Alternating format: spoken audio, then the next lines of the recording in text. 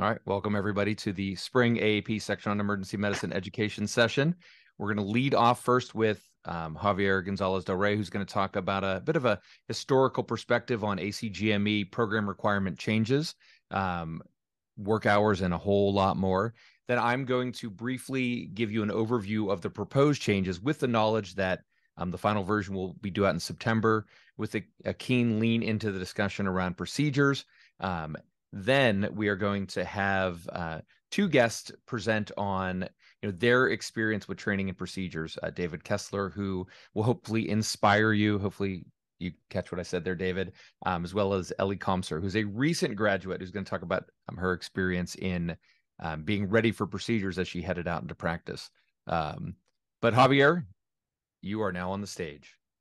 Oh my goodness. Well, thank you everyone for coming in a, uh, at least in this area, beautiful afternoon. Um, I said before when I started that, first of all, those of you who are on camera, thank you very much. I really appreciate that. And those of you, here you go, Nirit is driving, which is even great. Don't look at the camera.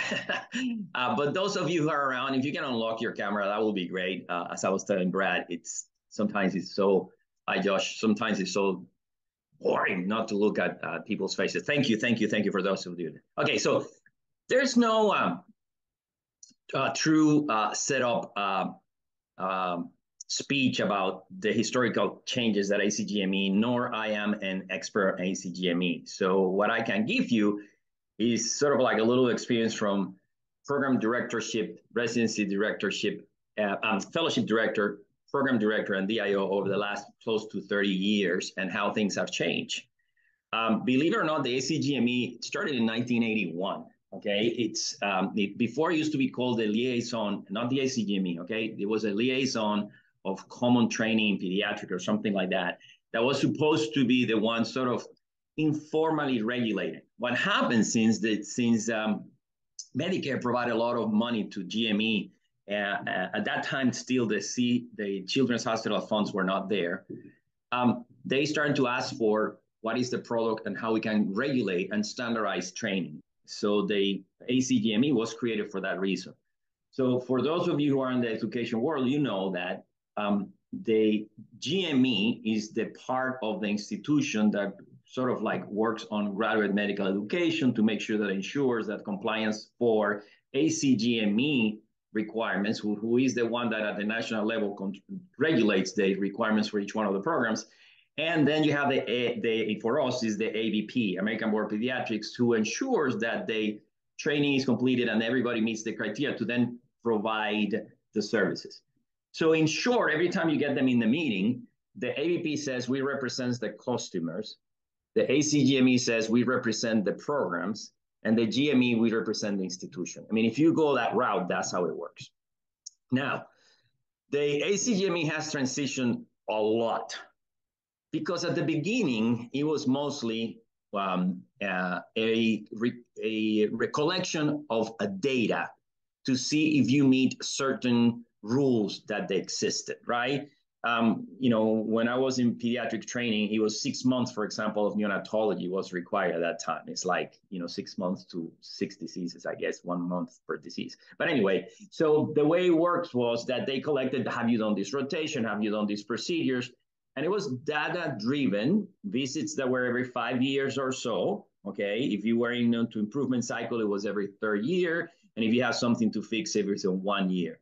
And it was panic mode every time you got one of those. I mean, some old program directors, I'm pretty sure that Tony and Jeff, I don't see anybody else from that generation in here, had that PIFicitis because it was called the PIF.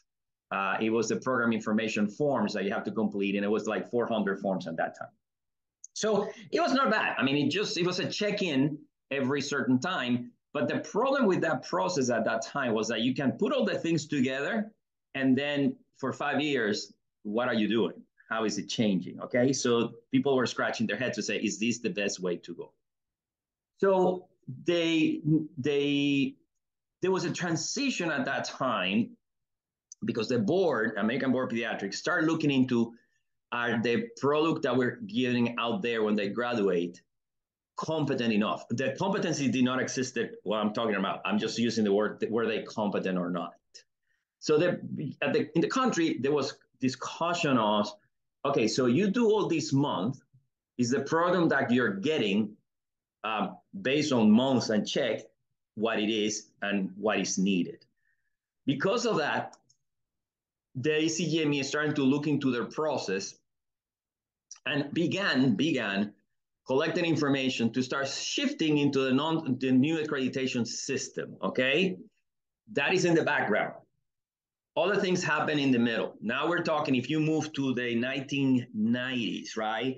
It was the first revision of certain procedures because we were asked at that time, in pediatric at least, residency, you know, chest tubes and everything else. Where surfactant came in. Nobody was popping in chest tubes anymore like we were doing in our residency, that every five minutes you have to go on, not five minutes, but you have to put a chest tube because of a pneumothorax when you were in the nursery. So intubation and other things were changing, you know, umbilical lines were changing. So people start questioning, do we need to recommend all these things? And actually, the pediatrician doesn't do that.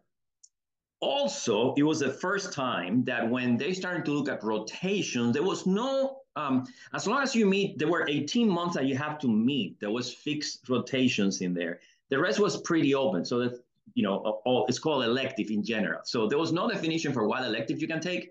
So people were doing surgical electives or doing surgical rotations, okay, that were required for the program, or BMT starting to come up and people were doing those exposures. And it was a time that service was taking over a little bit more than actually education was needed. Um, not intentionally, but a lot of the large programs says, okay, I need to cover all these subspecialties. And because they're under the umbrella of elective, they were then mandated elective, which is one of the things that the ACGME is starting to react a little bit. What happens though, you now I have to navigate to 1993, 1996, uh, there was a discontent because there was a lot of issues. I mean, there were a couple of, there was a kid, son of a senator, you remember that almost, you know, passed away when, when he was driving. There were a couple of errors that were happening. In the meantime, the Institute of Medicine brings the chasm of care, you know, to err is human, right? And a citizen group went to the institute at, at that time. Today's National Academy of Science. Before was the National Institute. Uh, um, what was it before? Uh, well, having a brain fart, but it was the National, um, uh, Jeff, it, now it's National Academy of Science. Before was, uh, how was it used to be called? It's the same thing. It's the uh, IOM, Institute of Medicine. Institute of Medicine. Citizens approach through the government and say that they needed a reform on the number of hours required because it was abusive, the program that we have uh, and that it was exploitation of trainees and it was unsafe. Um, so a group was put together. I was lucky or unlucky, I was part of that group. And we started to analyze over a year and a half, almost two years, all the data that was available um, uh, and in regards of sleep cycles and everything else and safety. Uh, before I go how the, ACGME reacted, let me tell you that if you read the report, because I have a conversation with someone that came uh, give run rounds in here, and they say there was no link between uh, the sleep and safety. Well, actually, uh, in part, yes, but that's not completely true because the report did not only have hours regulated. I mean, who's going to think that every other night was sane? I had every other night, and you were like in drugs the next day so of course, the fatigue and everything else was causing issues. Now, the report, believe it or not, what happened, it has 18 regulations, increased supervision, you know, ancillary support, not wasting your time and doing things that are not learning for the specialty that you have. But of course, everybody took the hours linked to safety and forgot that there is a big note at the end of the recommendation that says if you do this separately, you may not impact on anything. So if you remember, everybody run to cover the hours but a lot of programs, what they did is they compressed the work with the same number of people, and then the safety probably was not changed for that. Long story short, ACGME gets the pressure from that report. And the first big change that they do that had to respond out there was they, like you know, the hour regulations that came in 2008. Uh, there was a big stinch. Uh, at that time, if you remember, most of you, there was not enough nurse practitioners, or other ancillary groups. There were not enough PAs and things like that. But it was it was a, a mandate that actually revolutionized coverage in the hospital and put a lot of pressure into the different areas. And for the first time, program directors have to make the decision to say, no, in order for me to maintain this, I need to go back to what is required in pediatrics, not necessarily the service that I am providing. For example, I'm not afraid to say in our institution, we have to drop the surgical rotation. We eliminated the sleep medicine that we were covering at nine. Some of the BMT was eliminated, et cetera, et cetera. So a lot of things starting to change. So ACGME makes that change in 2008-ish around there. In the meantime, the board also comes with another change and said, no, we're not competent enough. And because the IOM, Institute of Medicine, has released the different domains of what quality of care is supposed to be, the famous six competencies that you hear, ACGME also introduced the competency process into that. Uh, but again, what happens with the hours is that there was a measurable outcome to say if you do this, you're fine. If not, you're going to be on uh, probation or improvement or citations. With the competency, some of them were easy to do, but for example, professionalism, still people trying to define or how do we measure, how do we do these things. But the six competences were instituted, and that was another big change that happened in there. Um, we have not even finished the competency evaluation, and then the EPAs get introduced, and you were all part of the EPAs. I'm just doing big lips, okay? And then now in pediatrics, there are new revisions that come. By the way, this is not the first one. This is probably the third one in the last seven years with the requirements coming in. So a lot of people say, so where do they come this from? Well, every certain time they look at the environment, they look at the people, they look at the trainees, they look at their data, and they come up with certain I think sometimes they react, sometimes they do it very good. ACGME is not a bad per, it's not a bad group. It's just trying to do the best with what they have.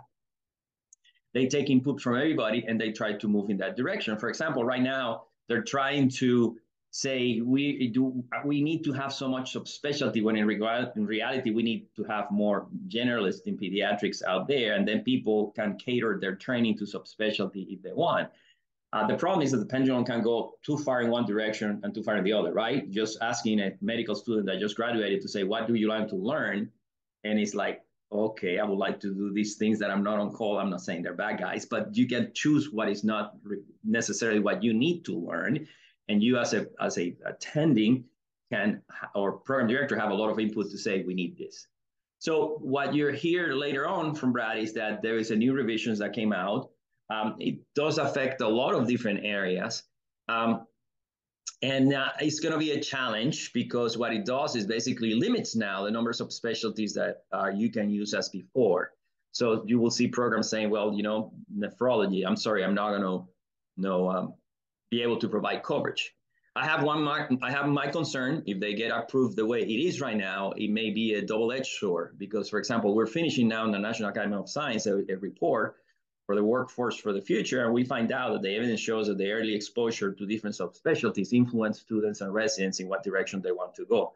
So if right now there's some areas that are not going to be exposed, how are we going to get people enticed to go in those directions in the future?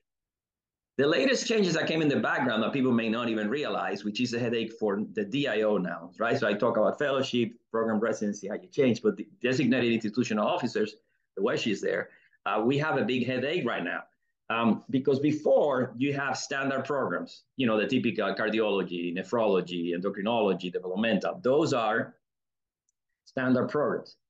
What had happened is that there is another agency, the ECFMG. ECFMG is the one that controls the visa and the processes for, you know, MGs, international medical graduates come to the country. A lot of programs used to develop a one-year type of fellowship. You want to remove the fingernails on the right hand, there's a fellowship. You want to remove the fingernails on the left hand, there's another fellowship. And all these fellowships were not, you know, um, I don't want to say regulated, but there was no quality control of the product that is out there. So in a very um, blunt approach, last year, without even having a plane with wings yet, um, the ACGME, the ECFMG decided that now they non-standard programs will become and will be oversee. Uh, I mean, we have to have the same standards as standard programs. So for DIOs now, the headache went from 49, 30 programs to 110, 112 programs, depending upon how many programs you have. So now you will see that all those extra years will have to follow certain rules. And as a matter of fact, their evaluation process starts much earlier than the regular years because these are the these are the programs that can also be used for exceptional um, candidates that can come just to do this and leave the country back. Um, so as you can see, because I, I want to leave time for it, they the changes are. I don't think they are they are all the time like we think like oh why are they doing this? I think they take information, they look at the milieu, they look at the environment that we are right now. If you look at the changes for each subspecialty, they are different because each subspecialty has what they have, what they call the RRCs, residency review committees. They look into the different things, get the input from program directors and the community, and then they move forward with certain changes. I think uh, from the prescriptive nature that it was at the beginning, is more of a program directors and institutional look. However, um, a, the program director sometimes, for example, if all these institution uh, or all these changes are approved, the program directors may be left a little bit at limbo because they're going to be the ones that are having to come back to the institution to say this is what we can do or not and that they may have some frictions in there, right? It's like the ACGME hours in 2008. It was a mandate, you have to do it. And wow, you know, the program directors were the bad guys. The IOM was the bad guys. And it's not actually, it was a change that if you really look, make life a little easier. Not that people are not working, people are still working, uh, but they try to eliminate the maximum. The last thing that I want to say is ACGME, ACGME sets minimal bars they say this is what is minimal requirements. You can excel on that. But when they say this is what your residents, you know, should be exposed to, is a minimal bar. The last thing is the survey. Surveys have been becoming a little bit on the flat side because it seems that throughout the nation over the last four or five years, the same areas have been coming with the lower uh, numbers. Uh, discrimination, workload, uh, congestion in the learning environment. And there is some discrepancy between faculty survey answers and residency surveys or fellow surveys answers. However, uh, the way they're reporting it is interesting because it's helping, particularly fellowship, how to analyze the data. Because you may say, well, I have one fellow that is answering everything wrong. Okay, so your numbers may be down, but if the percentage compliant in the report says that 90% of your residents are in compliant and only one resident is not in compliant, then you know that your reaction should be different that if 50% of your answers are in non-compliance.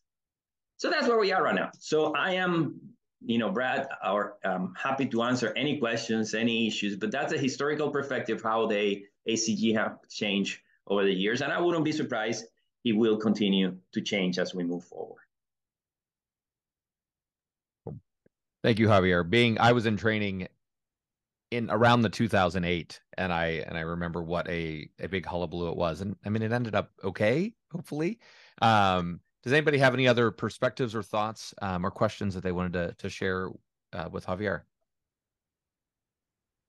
this is Ellie Conser. I was gonna just say I'm the one who just recently graduated from residency, but I know a lot of um, attendings during residency, even though you know it was in 2008 that change was made, would say they felt like residents weren't as well trained as um, they were prior to 2008 because of that change. Do you did you all feel that same way as well, or what were your thoughts on that? I can give you my perspective. Um, as a matter of fact, that's a different topic because that would be generational differences in how they influence medical education. Yeah. And, and usually um, us boomers, and I can see some boomers in here, you know, Tony, Jeff, the West, you're probably a little bit younger than that, and Tavan also. But uh, we tend to get a little fixated on what we do things, and every time something changes, we're very hard headed to say, no, this is how I used to do it. If you look at the index of complexity from when we were residents to currently, it had probably multiplied by 10, number one. Uh, the amount of patients and volumes that we're seeing has increased tremendously the knowledge that is in the medical school has increased to probably 70%. Now, what could be different is that because there was less knowledge during the medical school time when I was a medical student, I had to be explored more to patient care. Okay. Um, so there's some skills that you develop uh, uh, more in regards of communication or failure rates, because remember, uh, also for the bad of the patient or the good of me, uh, I didn't have to precept every single patient uh, until 1996 when the HCFA rule came. So you made a lot of decisions. There was a lot of personal investment into what you were doing and a lot of scariness. As a matter of fact, in 1996, when it was said that no, if you're going to charge anything, everybody needs to be presented, most of us, our eyeballs went like, oh my God, are they sending these kids home? because it was like, um, you know, it's the Russian roulette when you come to it. So are they certain things that that are that were a little bit more um, in the previous time? I think the art of medicine was a little bit better, a little bit because of the non-virtuality based based um, patient relations and the failure rate that you have to do to learn as you go forward, right? We didn't have simulations, unfortunately. Your simulations were real patients. Um, but from there to say that they're not prepared right now, uh, I think that's a generalization that we need to be careful how we do it. You have to ask in what area uh, they may or may not be prepared, because I believe that our current residents they do circles compared to when I was a resident, compared to you know when we talk about certain diseases and certain stuff. So procedure wise, maybe we're better. Um, complexity of patient care, you definitely are better. Communications, we may be a little bit better, but that you'll catch up as you go forward with this. Um, knowledge base, wow, your knowledge base is tenfold higher than ours. We had to catch up with that knowledge base that you have. So I don't think it's anybody who is into the pointing fingers that in my time and your time is out of whack. You cannot judge by the past what you're having in the present. It was a big debate that I watched the other day. My family's from Spain, of course, and there were people that were frontal about Christopher Columbus should not be even recognized because of colonization and everything else. I mean, I respect everybody's thought on that. Uh, but my question was, okay, so when are you going to get the C4? And the guy looks at me. This was, by the way, here in my neighbor that we're having that conversation. Says, "What do you mean C4?" Yeah, because you need to turn the Colosseum down and the pyramids in Egypt because they were constructed with slave too. So what are you know when are we going to start destroying those? So at the moment that we start judging through the eyes of this generation what had happened in the past, by the same token that those in the past start judging with the eyes of the past, the new generation, we're not in communication anymore we just not not, not making assessment that is not based on evidence. If you look at the evidence, we're putting the product that we need out there. We were hit by COVID, and COVID has made a tremendous impact.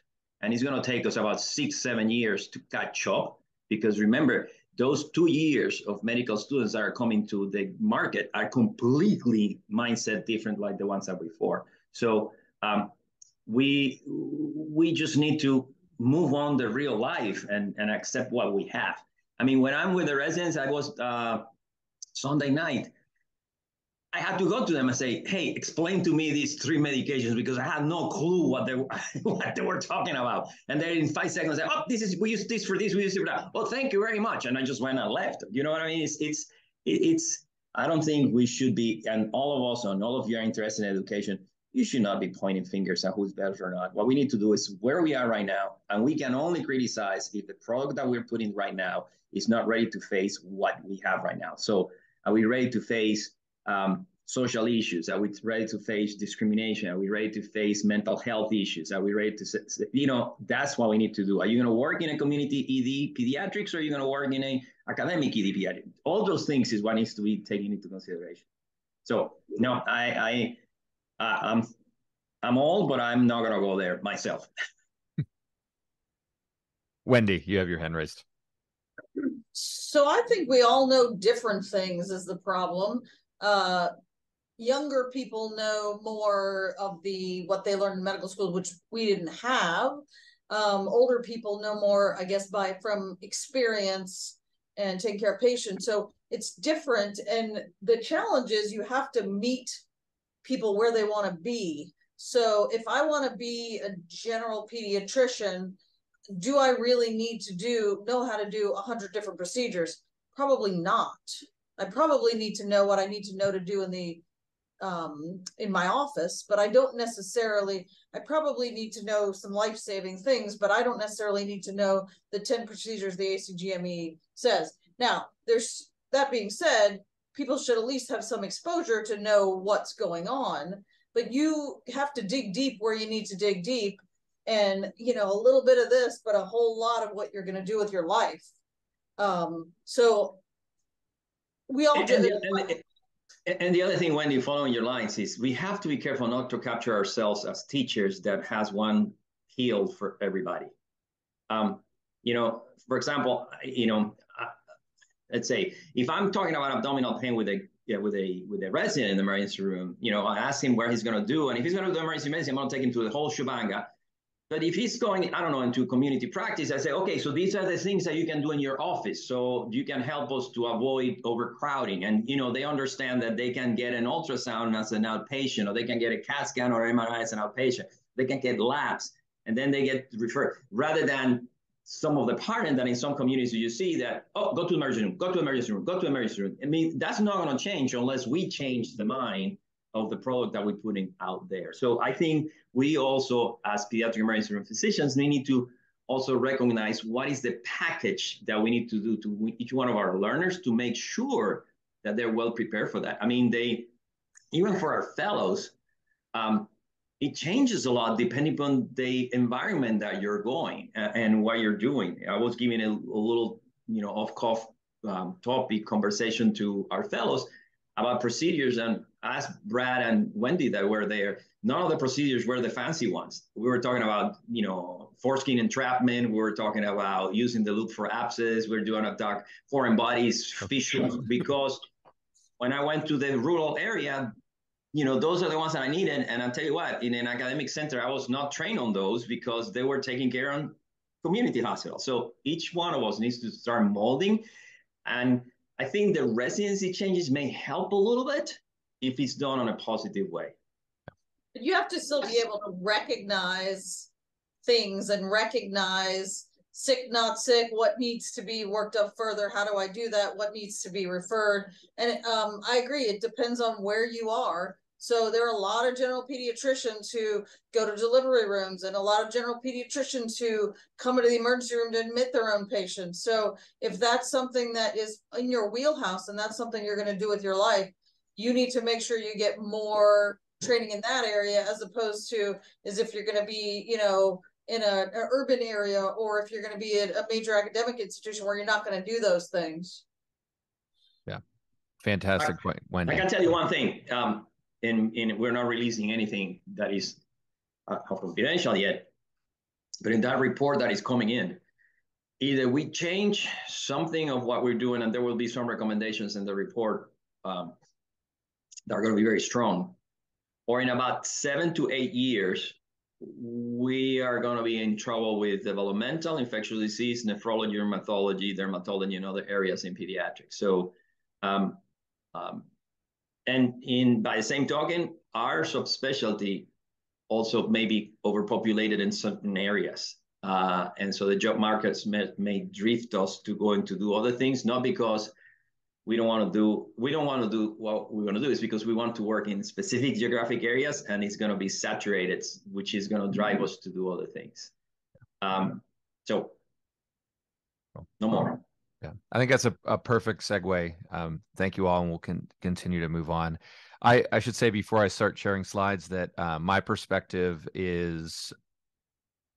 um, a, a associate program director very large residency program we have 203 residents, um, which is is quite a bit, and they're all wonderful.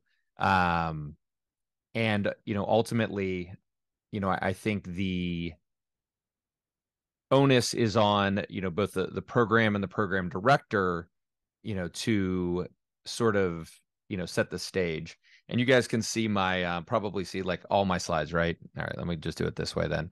Um,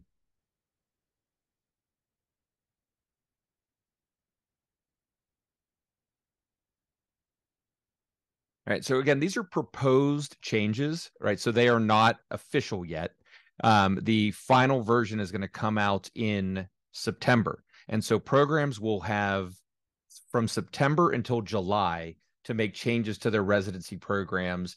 Um, and some of that is even more granular in terms of, of structure than than you might think.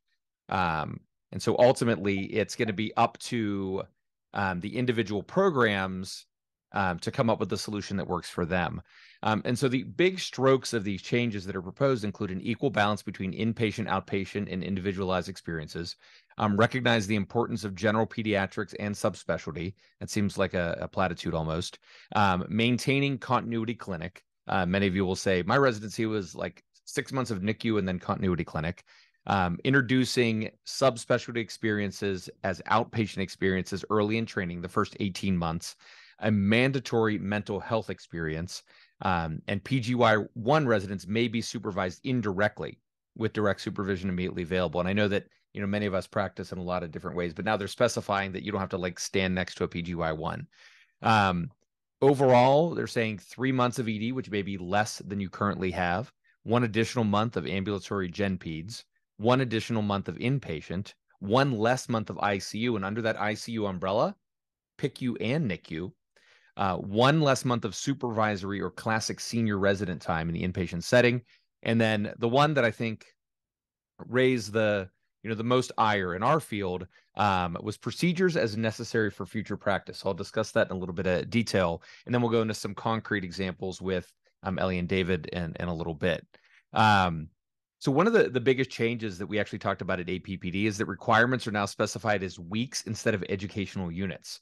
And so perhaps serendipitously, our institution went from a 12 block calendar of irregularly scheduled months. So like one month was 31, one month was 28, one month was 35 to 13 sets of four weeks. And so programs, if they have a 12 block schedule, this may make it very difficult for them to to count hours. And so the ACGME is specifying in terms of weeks spent on individual um, experience as opposed to what was called an educational unit, which classically was um, for a half month, eight days, or a whole month, 16 days.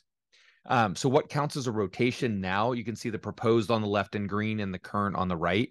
Um, four weeks or eight half days, right?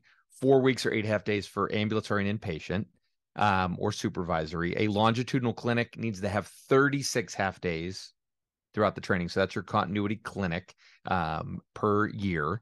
Um, and they want that to, you know, occur in a way that doesn't cluster it all together. So it has to be spread out throughout the year. And a lot of programs do that X plus Y scheduling where they take residents and put them on, you know, a very particular block of outpatient and inpatient. And all they do is clinic for a while. And so it's a little bit of artificial limitation to that. So you can't just get all of your clinic right away. You have to spread it out through the year a little bit.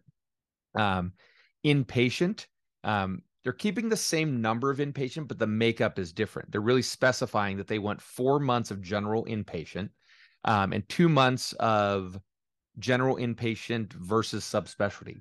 And so a lot of hospitals will have a mix. They'll have hospital medicine and GI on a service together. Our institution has a GI team. We have a hemonc team. We have a pulmonary team. We have a complex care team. We have an endocrine and pulmonary our endocrine and nephro team together. Um, and so all of these individual teams is not really going to fit into that bucket of six experiences.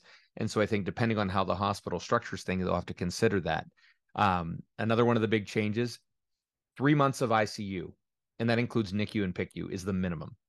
And so when we talk to some of our peer programs that um, don't even have a PICU in their institution, that was this is great for them because they'd have to send their residents off site, often at a distance and expense to the residents to train in the PICU. Currently, in our program, we have three months of NICU, one a year for residents, and two months in the PICU in the second and third years. Um, and so we've already gone to our neonatologist and you said that there will be a uh, likely curtailing of the amount of time. Um, unfortunately, the newborn experience remains intact. So you can see um, fat, pink, happy babies. Um, and then ambulatory changes um, this is where the greatest increases come into play. So now they're proposing 10 four week periods of ambulatory as opposed to the previously mandated seven. It still includes a month of adolescent, developmental pediatrics, a new dedicated four week mental health training that could be contiguous or split up throughout the year, um, a mandated month of community advocacy, and three months of PEM. Two months have to be in an ED, one can be in an urgent care um, setting if you underline that. And back when I was a resident, I told myself I wouldn't say that. We had five months in the ED. Um, now our residents currently do four, and so if you look at these and think about your individual program, you can already start to intuit some of the the changes that that may have to to happen. Um, you know, when you look at you know individualized curriculum and other subspecialties, a lot of these proposed changes um, are curtailing some of those inpatient specialty services that our large hospitals have. And so there are some services that may have a lot of nurse practitioner coverage, other services that won't.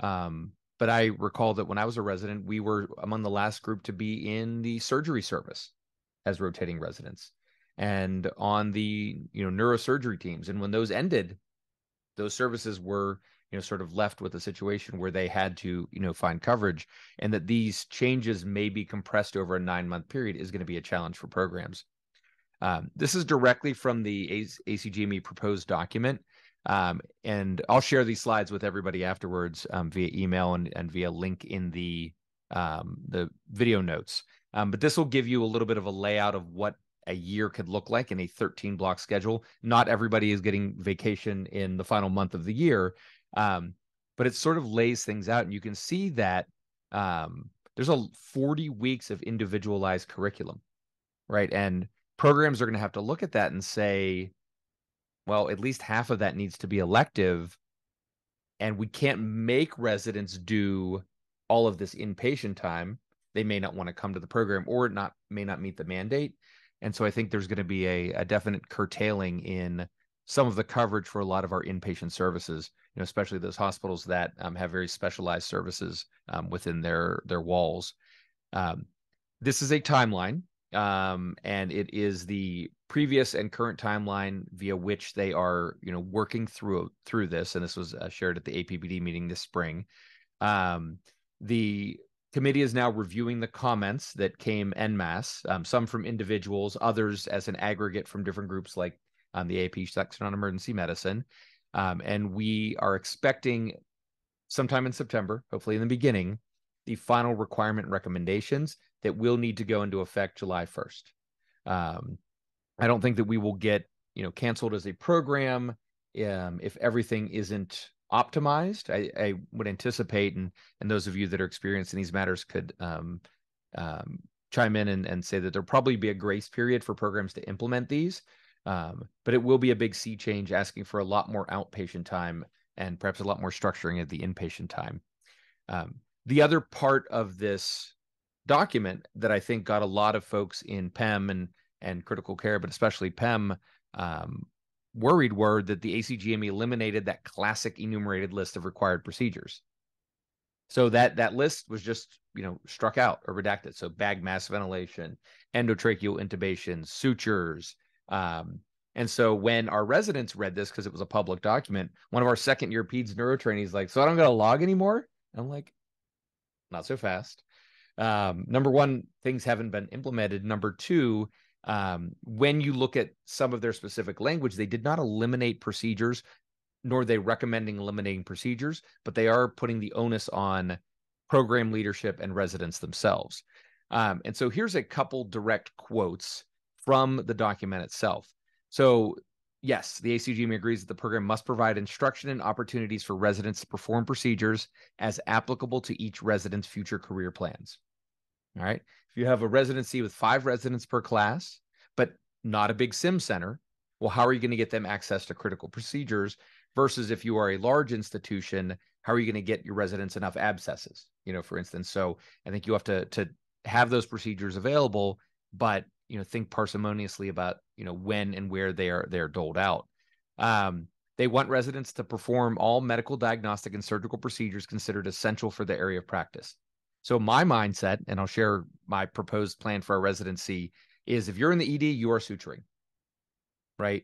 Um, I think opting out of a procedure just because you're going to go into gastroenterology when it is a common and necessary procedure for the patient that you have in front of you um, in that particular rotation um, probably is not in that patient and the, the resident's best interest, but there are many viewpoints in that area.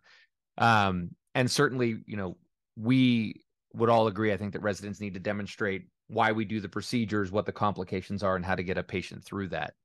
Um, then they further iterated on their um, their future plans here and said really the the program leadership needs to collaborate with the resident look at their career plans their aims the needs of the community and residents should do the procedures relevant to the patients they're taking care of and what they are planning on doing in the future and then they list off this long list of procedures some which were on the original list um, some are new and i know that our residents replace way more g tubes than they do lumbar punctures right? Wendy's smiling because she knows it happens in the ED, right? There's like four G tubes for every LP that they get. Um, and so if somebody's going into, you know, complex care or general pediatrics affiliated with a hospital, they're going to manage G tubes way more often. They're going to do lumbar punctures. But previously, that procedure was not on that magical list that you had to log. And when you log six LPs, that meant you were good for your life.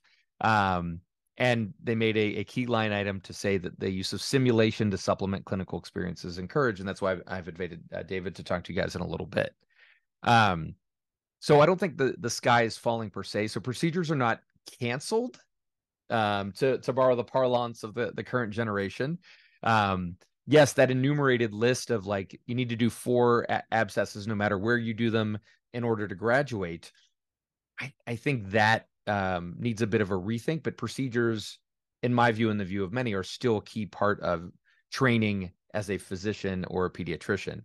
Um, so, yes, our residents still need to do procedures that are relevant to their rotation and future career plans, right? If you are on the pulmonary complex care team, then you need to know how to manage and deal with a trach and change a trach. It happens on the rotation. That is our expectation. Um, defining that on an individual basis one of the other things that this new recommendation added was additional programmatic support. And so we've added two more assistant program directors just because of the dispersal of work and the size of our, our program. Um, and so we have a program director, I'm an associate program director, and now four um, folks serving in the roles as assistant program directors to help the residents work through these curricular changes and their future career plans. Um, you know, in logging these procedures, no matter what system you use, um, has it been about compliance with recommendations rather than building competency? I think many residents have viewed it that way over the, the recent years, right? I got to get my number. And so I'm holding procedure sessions in a simulated fashion in May and June where they splint each other or they like work walk through a nursemaids for me so that they can like get their numbers but i really want to make sure that they know how to do a nursemaids at a barbecue or walk their cousin through it you know if they're going to be a nephrologist. Um I, have already had residents ask about opting out of logging, but then I've had third years who, you know, are going into a job and their job wants their list of procedures. I've had people that are going into another job, maybe a decade out, and they're like, hey, can we have your residency procedure list? Right. Which is an interesting ask if somebody hasn't cataloged that. And so I think accounting for what you've done um, and making sure that you write those down and document those, I think is still important, even if it's just as a record for what you're going to be doing in your future career. Um, and I'd say that includes logging any procedures performed in an actual or simulated setting. Because I know almost none of my residents are going to do a central line. But if you're going into critical care and you've learned about it through simulation and you put your hands on an ultrasound probe, I do think that's helpful for a critical care program director to at least understand that their resident understands the basics and mechanisms of placing a central line, even if it was on a, a simulated patient. Um, I think we have to be more intentional about how closely we include procedures and the goals and objectives of each rotation. Really think about what opportunities are out there for residents to get um, and Javier, I will uh, join you in a in a moment there. Um, the rotation itself um, should have a list of procedures associated with it um, and include that as, as part of the full rotation experience. Um, and I think we can use the EMR like Slicer, Dicer, and Epic and, and make life a little bit easier to capture this data. Because I know a lot of residents are are logging things like seven months after they do it, and they're like, I don't know. Did I do an IV? I'm just, you know what? I'm just going to send it to Wendy. I hope she'll sign off on it. She she she did it with me, right? Yeah, I know. And then Wendy signs it, and, and all is good. Um, but does that really mean that the resident's good at it? I don't know. Um, I say at minimum, and and this is where I stand at you know the, my position in the program. I think every single resident that comes to our program should be able to do chest compressions, bag mask ventilation, apply an AED, and control hemorrhage via direct pressure using a combat application tourniquet, like the kind that's included in Stop the Bleed. I think they all need to be able to do this. I don't care what they're doing. I, I want to make sure that they get experience in that. I know that um, most of these will be as part of simulation training, um, but when opportunities arrive and actual patients, get them a chance. Um, this is a draft version of required and optional procedures um, as I'm putting it into our goals and objectives. Um, again, it doesn't include everything, but it includes in the ED a lot more than what we had in the previous ACGME list, like G tubes and cervical collar placement and clearance, those sorts of things. Um, and you know, POCUS is a big part of our our career. So if you're going into PEM, you should do a POCUS rotation. I, I firmly believe that. But I think it's also important, even if a resident's not going into it, to understand its application and use in our environment. And so I would expect them to both, you know, use this as sort of a a field guide to the ED rotation, a scavenger hunt, or you know, an opportunity to get exposed to them along the way. Um, at at various points in our residency, we've also had like a critical care pathway or an acute care pathway, and it was designed for overarching rotation experiences for PEM and critical care and NICU the changes in the curriculum are going to make us have to blow up this pathway structure. And so if you scan the QR code on the next page, this is a website I'm currently in in the process of building, um, which is where um, and I'll I'll stop the share here in a moment so that I can pull up this website. This is how um, I'm structuring the emergency medicine pathway. And so, Javier, while I pull that website up, I wanted to to address uh, your question. Sorry. No, it's not a question. It's a it's a comment to mm-hmm. everyone. One of the things that um, has not lost, but because of ACGME changes and our students, residents, fellows, and reality, one of the things that has been clearly documented is sometimes some of these burnout and some of these things are the difference between what expectations are and what the reality is. So, mm-hmm. for example, um, we know for a fact that medical students have to do the check, check, check, but then our residents get into the process of logging in. I think we're going to revamp completely our orientation because what they don't understand, and we need we need to train them to say is that when you document procedures, you document notes, you're learning what you're going to be doing when you finish. You have to follow CME. You have to do certain things that are related to that. So they structure their thinking that this is a requirement Brad that asking me to do this. No, actually, you're building up your job because as a DIO, I'm pretty sure that the WESH have to sign a bunch of, you know, uh, certification notes to say to the medical staff of another facility, you know, is this person capable or doing certain things? So we are also need to change a little bit the way we we educate them about requirements versus what is needed versus what is the future that they're going to be experiencing. Mm-hmm. So they're not multitasking because the residency is asking them to do that. They're multitasking because the real life is going to ask them to do that. They're not documenting safety college and all that because the residency is a pain in the butt. It's because the next hospital that they work, they're going to be doing this. They're not doing the logs because of this, because they need to log the procedural sedations that they do. Otherwise, they're not going to be certified. Mm-hmm. So that transition needs to be brought into their into their thinking, and sometimes that reality is not expressed to them. So, uh, as I said before, we're modifying the orientation this year, added one extra year, one extra day, and the program directors are like, "Why?" Because I think you know we noticed that over the last, the last three to four years, that reality explanation was not there. Medical schools and even some residencies are not bringing them to this is what reality is all about. Mm-hmm. This is what you're going to be experiencing when you were doing this. So keep that in mind because, um, you know, the logging for them is Brad is asking me this. For the program director is I need to document this. For the DIO is Brad, give me that. Otherwise, I won't be able to certify.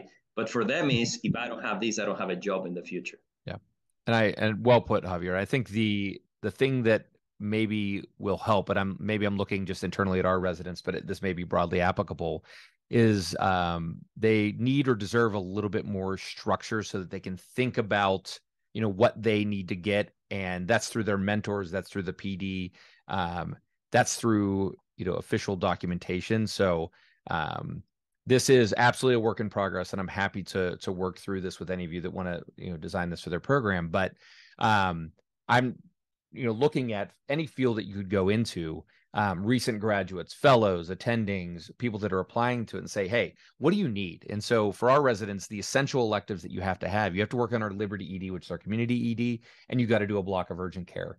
Um, And then there's other electives that you really should do, but you can pick and choose like ultrasound, simulation, anesthesiology. And then we have another list that they would all be great depending on your interest and time available, like a dedicated procedures elective, child abuse, toxicology, transport medicine, radiology, sports medicine, and we'll build out this list.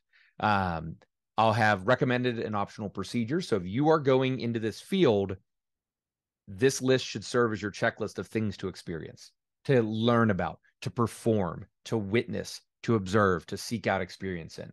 You may not put a fingernail back on, but I think before you go into fellowship, you should at least see what that's like, right? Because that is a, a technically um, challenging procedure if you've never done it before. Um, we have other longitudinal experiences that exist outside of standard rotations. Uh, ben Carey will teach our residents how to use the Storz video laryngoscope and how to serve as the second physician for our RSI quality improvement and in trauma bay checklist. Um, so they get like a, a cute little laryngoscope laryngoscope badge on their sticker on their badge, so that they, they can be a um, the second physician, or they can intubate a kid, you know, in the ED. But most residents don't want to do that. But we find that our processes are so detailed that they have to uh, get involved in that.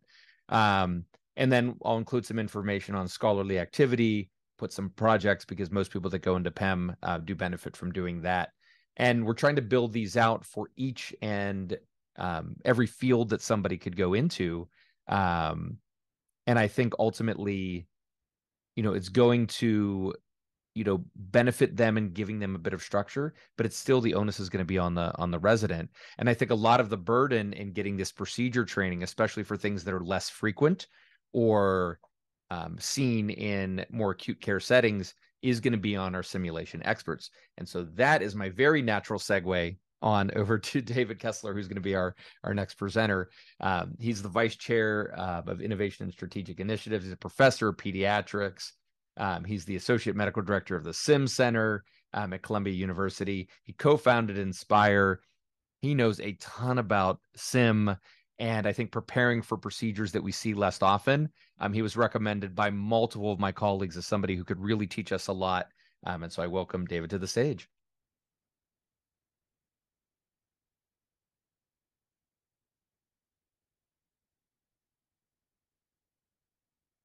It's always the challenge once you've gone to the full screen to find that mute button.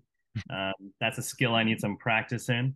Um, thank you, Brad. Um, it's really nice to be here. I feel like it's really come full circle. I believe the first competency-based simulation curriculum was presented um, as an abstract at one of the section of emergency medicine meetings, uh, you know, over 12 years ago. So um, what I wanted to do is just talk a little bit about how how do we prepare uh, our trainees for procedures when there's a relative desert of clinical experiences and uh, apologize for the creepy graphic, but I was playing around with DALL-E and this is apparently what AI thinks when I put in, um, you know, doing an infant LP in a desert.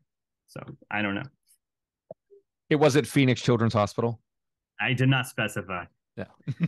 um, so I'm going to be a little bit on a soapbox today when it comes to simulation. Um, medicine's really the last high stakes industry that does not routinely practice prior to performance of critical procedures. And um, you know, here we have a picture of uh, our astronauts training in, in a pool. And so, as you know, um, so so much of that profession is just training, and so little is just the space flight. And it, it feels like an inverse kind of ratio when it comes to healthcare. There's there's really a growing need for exposure. This has been an issue, but but as Brad and others pointed out, um, our trainees have fewer chances to perform the required clinical procedures. Um, most graduate with an average of only three procedure, and that's just uh, from a log perspective, not from a competency perspective.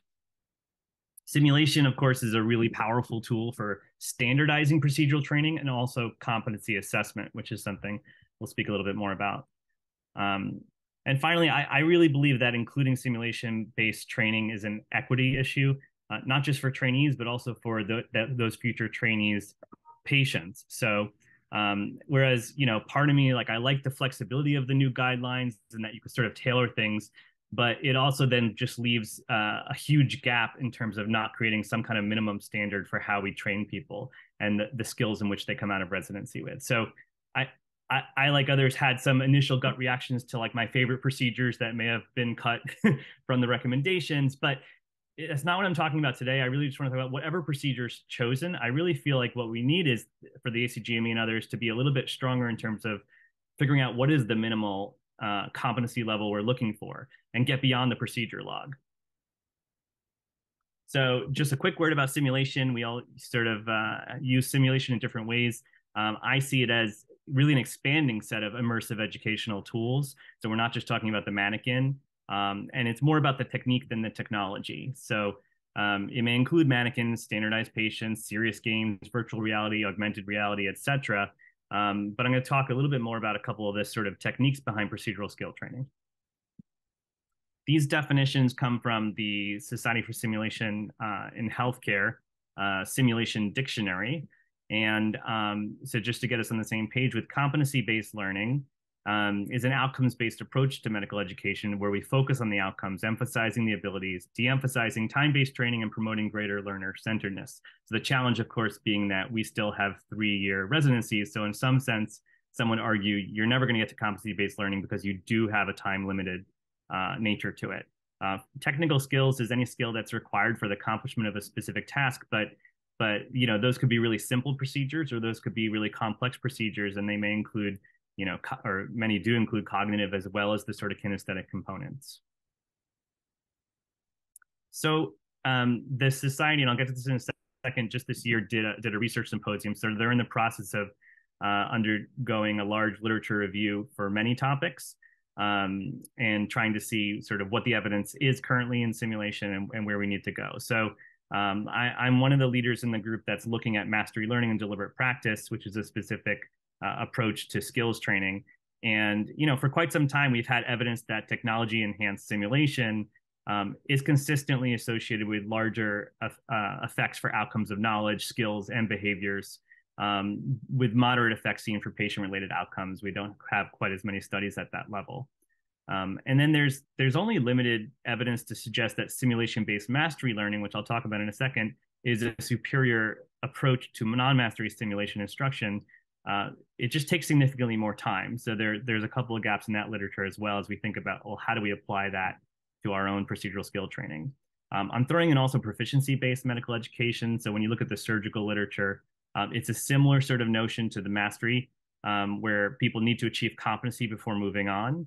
Um, they tend to sort of move a lot faster with it and sort of integrate a lot of the robotics, uh, uh, like LapSim, Mentor, that sort of help move that forward. So there has been some evidence um, at the systematic review level for quite some time that simulation works. We published this framework, and, and there's many on this call I see um, who are co-authors um, back in I want to say 2010, 2011. Where's oh 2015? Okay, um, which was really taking a, a, previous model of procedural skills training that training that was essentially the see one do one teach one model and expanding the model to sort of talk about how you would integrate simulation um, into skill development across different spectrum of learner experience.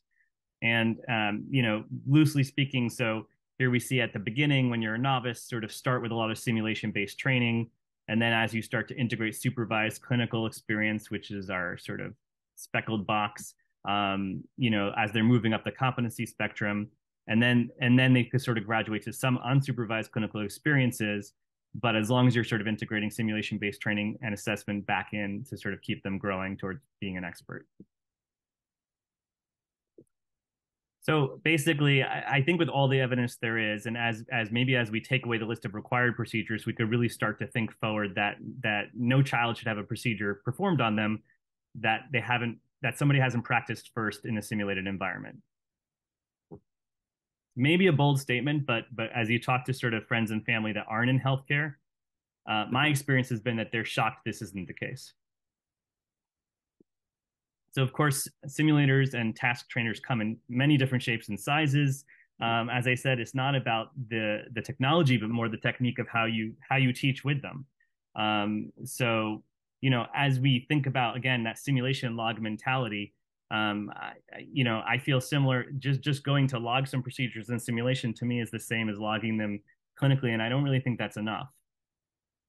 Um, and regardless of the modality. So again, this is a this is a game that we made for the iPad for training on infant LP, which I think is now uh, you know, obsolete or taken off the store. That company got sold. Um, we have some uh, virtual reality, sort of very up and coming.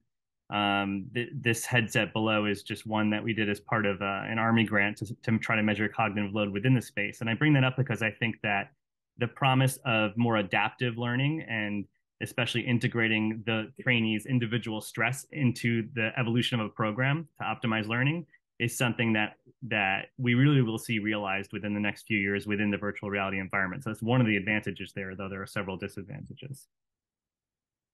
Here, here's something we've been working on locally just for sort of training on just familiarity with dissolved defibrillators. So, um, you know, even even things like knowledge injection can be done um, in the virtual setting as one option for how to do this asynchronously. And of course, you have you know your fancy simulate uh, sim centers where you could sort of uh, measure and assess outcomes. So I'm just going to take um, us through a, a, quick little journey of a single procedure and how I got my start sort of being interested in simulation and in procedural skills training. Um, and this is going back now 2008, where um, one of my I was a fellow at uh, Bellevue, and one of my mentors said, "Hey, I just got this little plastic mannequin, which you see here on the right. Uh, c- can we do a study with this?" Um, and I had a particular interest in infant LP as a procedure, and so we set out to do a, a study during my fellowship.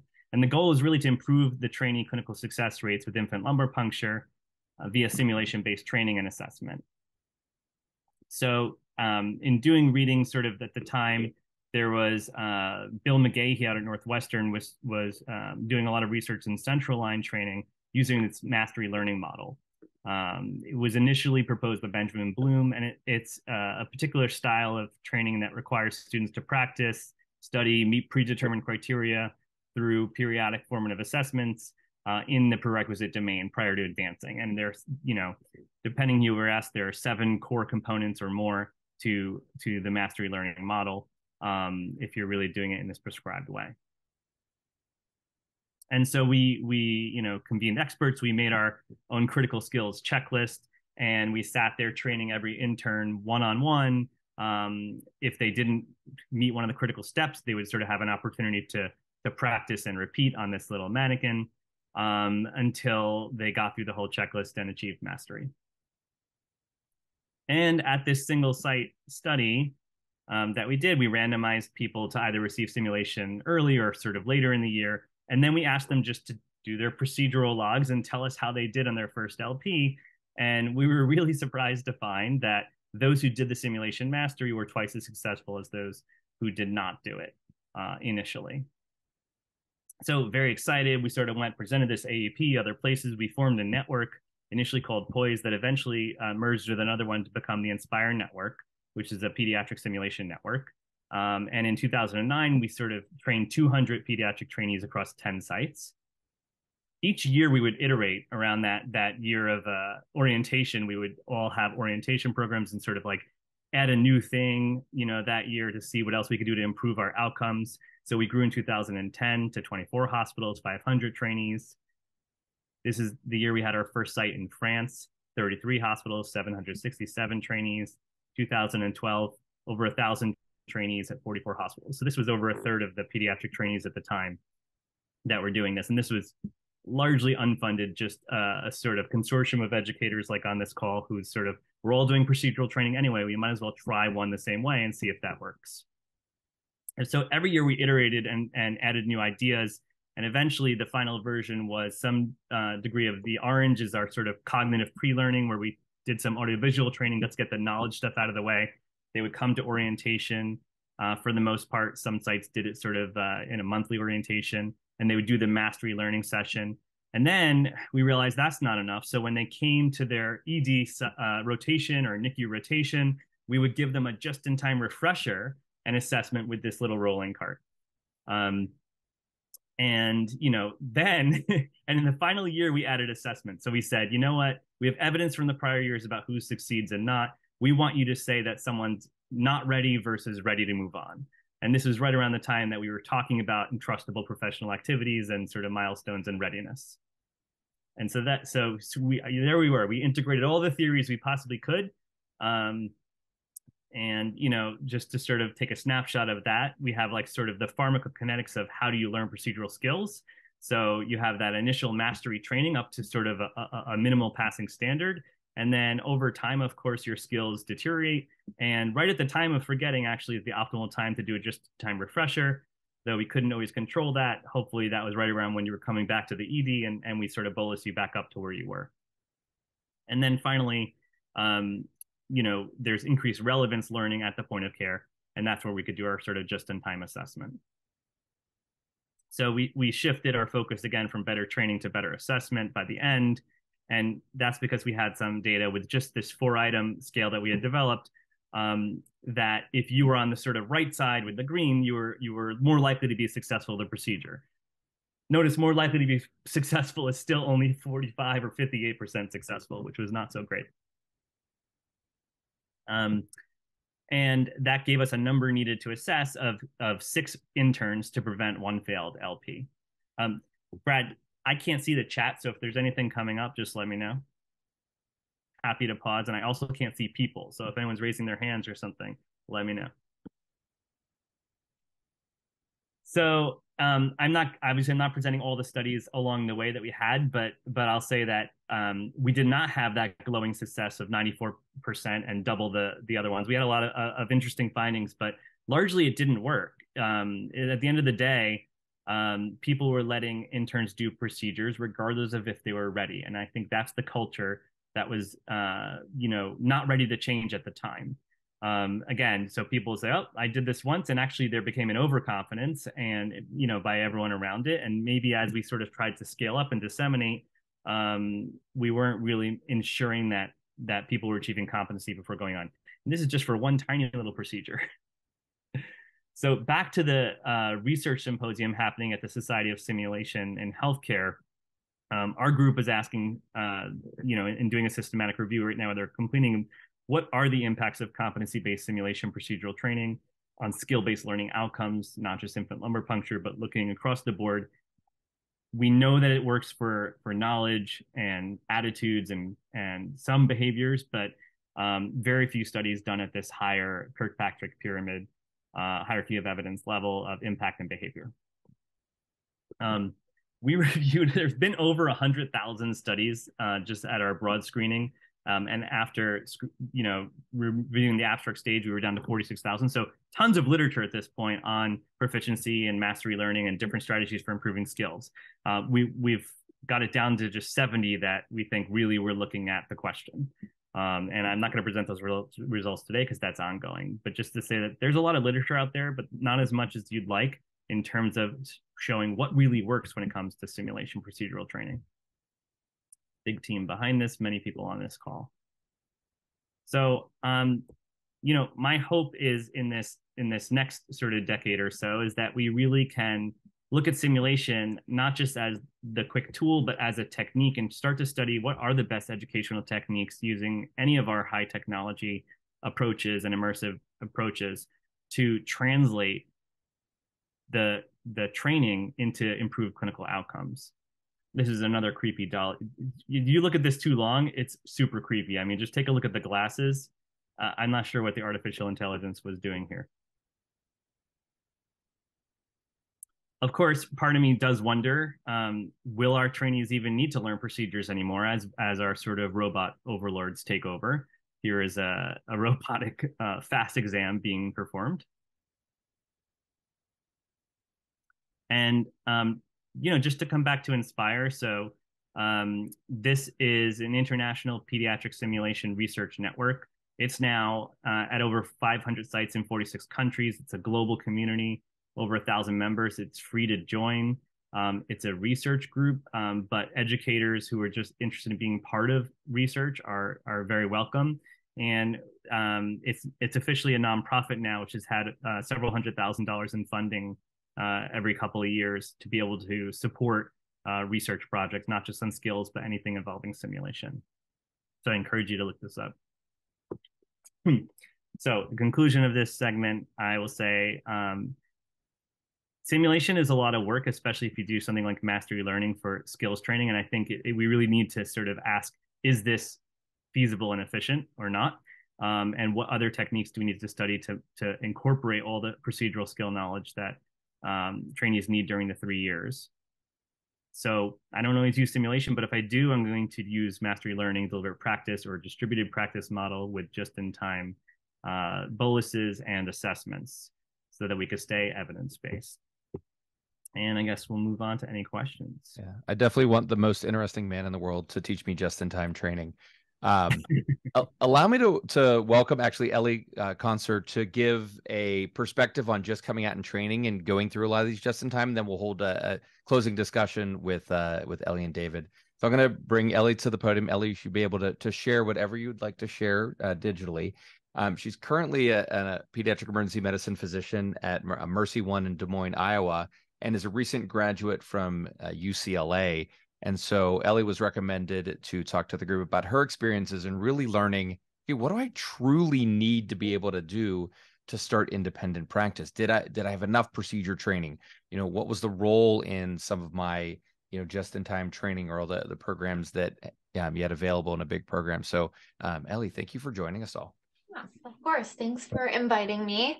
Um, yeah, I think being out in the real world, you know, at first I did really wish that I had more procedural experience in uh, residency. I think it's tough. I trained at UCLA, so there are, you know, a million fellowships and fel- fellows in every subspecialty that are kind of competing with you to get their procedural training, um, which sometimes can kind of take away your ability to get that experience.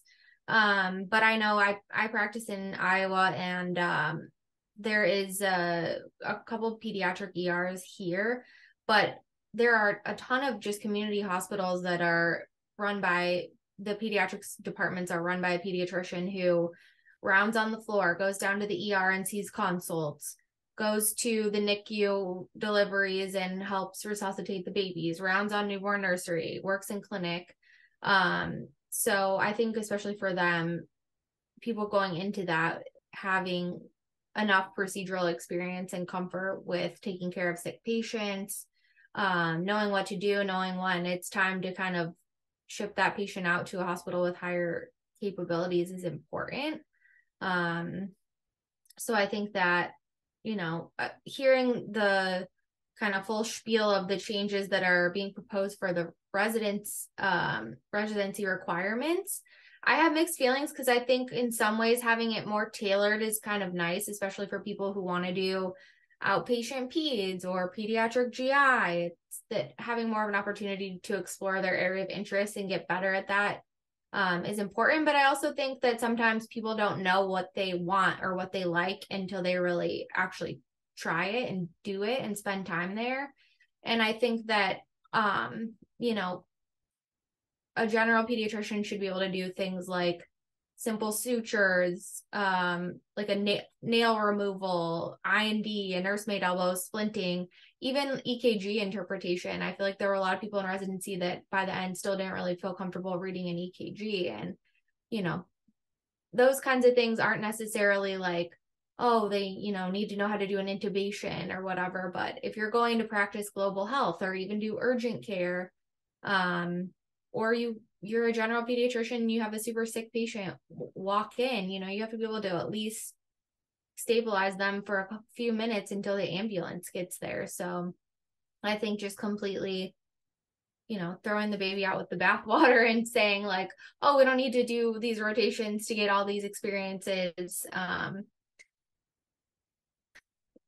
is not necessarily the best idea, but I do think it's nice if people, you know, can kind of tailor their desires if their if their program is capable of doing that, you know, if they have those opportunities available. But I also think it's like maybe someone thinks they want to do Gen Peds outpatient and they do that for, you know, five years and then they say, actually, I want to go be a hospitalist in rural Iowa. Like, you know, but I didn't do a single procedure in all residency. Like that's not good either. So I think some sort of middle ground where people can have that tailored experience, but there are minimum um, requirements of like, all right, you should feel comfortable removing a nail. You should feel comfortable applying a sp- splint, you know, doing an IND.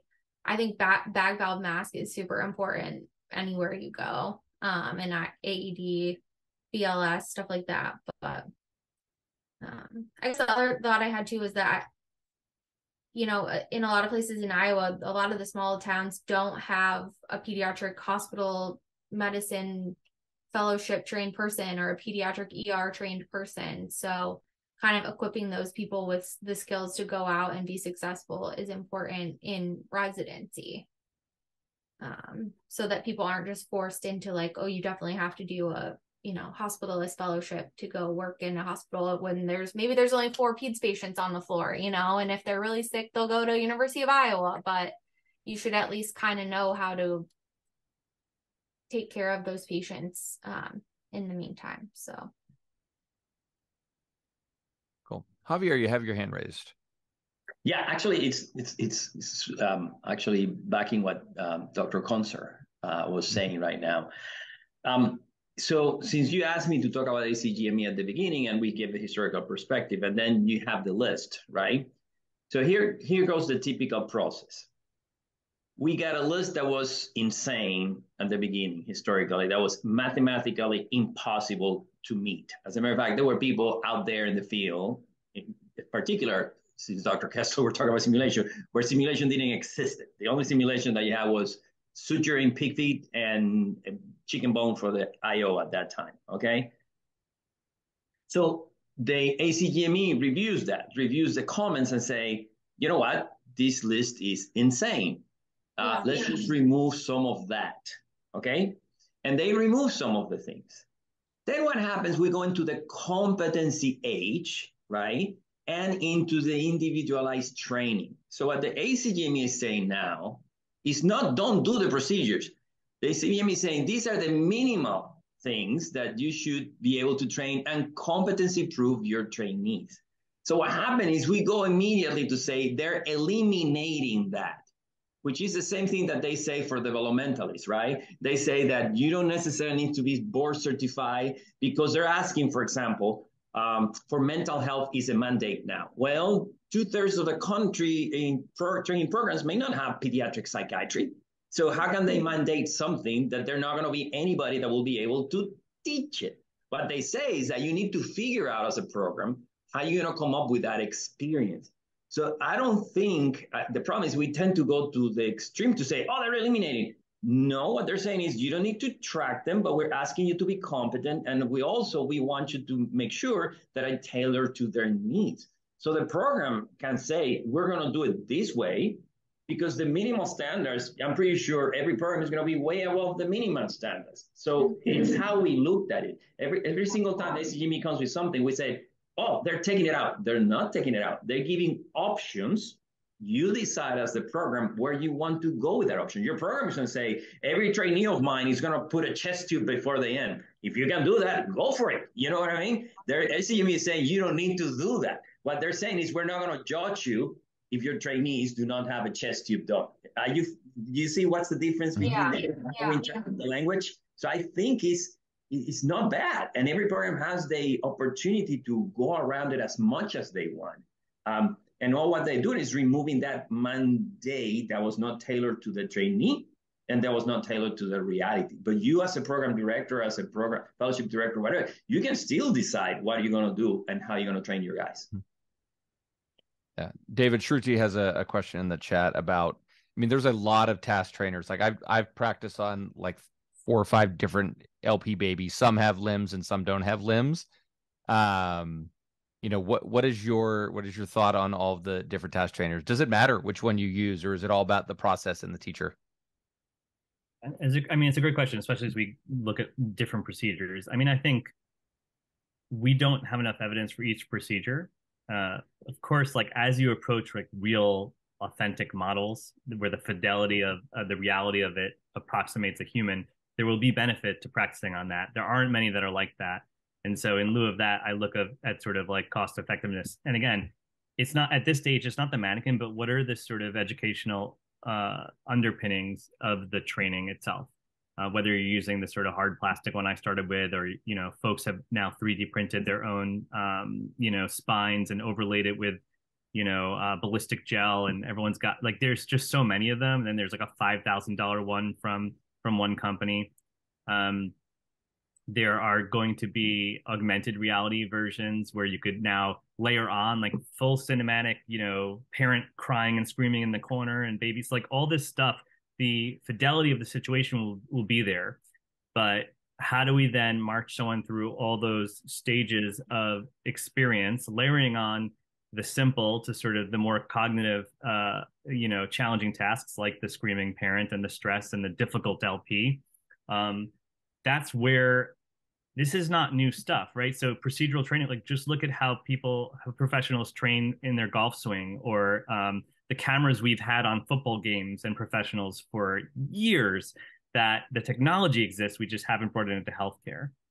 And I think that there's like an elephant in the room, which is that we still use trainees as a workforce in this country and that if you asked any one of them they would much rather be in a sim lab for a day than you know rounding and writing notes on the floor yet again how much learning did they extract from that day you know versus what they might get so i want to push back on the idea that there's too many procedures for them to learn or too much you know uh, for for i think the whole thing at some point needs to be blown up if we really are being uh, honest about wanting people to achieve competency in skills or in sort of communication and the other and the other um, you know competencies that we're looking at.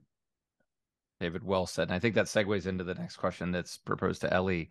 You know, does what does procedural competency mean to you now versus what is it what did it mean when you're a resident getting your evaluations or logging or or doing those things? Has you know, did your mindset change overnight or was it or is it gradual? Uh, I think it it did kind of change overnight. I think when it's you in the hot seat and there's no one supervising you, it's like you could have done an LP a hundred times, but you're you know on YouTube watching the video to make sure you know exactly where your you know target spot is and everything like that. And I think in residency there's just some um, comfort in knowing some knowing that someone's kind of looking over your shoulder and I also think that it is like in residency you're just kind of trying to ch- check things off a list you know, like I need X amount of this, Y amount of that, let's get it done. Um, versus really being like, okay, if, when the patient's in front of me and it's all on me, like, do I really know how to do this and what the steps are? Um, so I think that, eh, you know, in residency, maybe it's more of a quantitative thing. Like, oh, I've done seven suturings, you know, like in this block or whatever. But when it's in front of you it's more like okay well should i do a double layer or a single layer or what would you know my mentor have said in this case so i think in real life co- competency is more gray than black and white and in some you know i think a lot of times being newer out i ask some of the older more experienced attendings like what would you do for this even being done you know so I think the competency is kind of an ongoing thing too, that you can always become more com- competent over the course of your career. Yeah. yeah, it's not an it's not a a either or, right? It's not one or the other. I mean, they, you still need to do a lot of pattern recognitions, a lot of motor skill development, a lot of things, and unfortunately, that comes with a little bit of practice. Um, I'm gonna go back to what Dave was saying in regards of we need to blow the whole thing up. In reality, yes, we need to blow certain things up uh, because right now in actually not only in the United States, I do a lot of global medicine in Europe, South America, Central America, and uh, Caribbean. It's all service driven. As a matter of fact, we are lucky in our country uh, here in the United States that after 1996, every single patient needs to be almost preceptive. You're going to pay a penny because in the other countries, you don't do that. But blowing off, I'm going to give you an example of how sometimes we don't think about it. So we have all these global health rotations. I'm not saying everybody needs to do global health rotation. I'm just giving an example. So the intent of global health is because we're going to go there, we're going to do patients, but there's absolutely nothing wrong to design a global health rotation that is procedural skill driven if you're going to do, for example, pediatric emergency medicine. See what I mean? We're always welcoming fellows that come or residents come from above, but I can tell you, Dominican Republic, they had a brand new ED that we just finished remodeling. You probably do about 15 LPs a day. You probably intubate six people a day, and you're going to probably central lines because they step down ICUs down there. So you, we also need to start saying, okay, so for certain individuals, what do we need to do? And they that they do have the simulation because what they do is they they do not let anybody do these things unless at least in a visual simulated environment, you know, like Ellie was saying, what are the steps that you're going to do? And if something fails, how are you going to go around it? You see what I mean? So we need to really think beyond, but the keys, the keys, look what she or what Dr. Conser had been saying. Hearing it, uh, excuse you say Iowa all the time, yeah. right? Yeah. Okay. So here's we do this, but if you don't have this, we're going there. I think, like Dave was saying, the day that we blow it off and say, okay, tell me where you're going, tell me what you're doing, tell me what you need, and then we'll figure that out. Many years ago, we were allowed to do rotations, and you still do it, but people don't use it as much. That if you go to a private practice, uh, if you sign a contract in a private practice on South Dakota, the program will allow you to go to South Dakota for about a month as an elective so you can learn everything else and then you come back and you have to do an individual learning plan to say i just went there this is what I'm going to need. Please help me to do that as part of my six month of individual learning. More of that is what we need because that way we can cater everybody to move forward into the direction they need to go. Yeah, yeah I think I think what both both of what you guys just said speaks to a little bit is how do we increase learner engagement uh, and part of that's relevancy and but the other is this the consequence and the stakes. And so i think somewhere between like the quote unquote old days where we had no supervision and so the stakes the, the stakes were just pushed up right? So what what dr Conser's talking about now like you would feel in residency. And i think that's why there was maybe more of a drive for that for that learning at that time. But i think i think again simulation fidelity is not just the mannequin but you could think about the psychological fidelity. And we need to do that a bit more too to get um, whatever experiences they're having you know whether it's high more higher stakes assessment or just increasing the psychological you know uh, arousal of the situation to make sure that that learning sticks a little bit better. Um, i do think that it's always been a challenge uh, you know the global i did a global health residency track and um, you know it's always a challenge thinking of it like as that is our place to go do procedures though you're absolutely right javier because it's sort of if you know again as we move towards sort of like the equitable equitable care, not just in the U.S. but sort of across across the world. Like you would hope, as you said, that sort of folks are still doing a, some kind of minimum competency before they start doing those procedures, and then yes, it would sort of be probably advantageous to wherever they're visiting. Thank you, everybody. And out of respect for time, I think we'll close the session down. I think what I've what I've learned and reflected on is that, you know, it's not purely the resident's role it's not purely the program's role. I mean, you have to collaborate in this. We probably have to rethink a whole lot of it. And, you know, initially when, yeah, when I read that document, eh, I had negative thoughts and feelings, but it's an opportunity.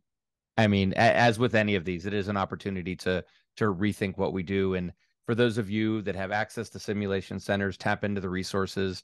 Um, for those of you with not, call folks like David at, at Inspire or partner, you know, with them um, and you know, if you've got faculty that have trained at your institution that have gone out into practice, you know, like Ellie, gosh, ask them, you know, what have you learned? What do you really need? And if you've got a year left in training, fit those skills into that. Right, that's a lot of time and a lot of elective time to work on those things. Um, and I, I think it is an opportunity for those of us in education. So, thank you, everybody.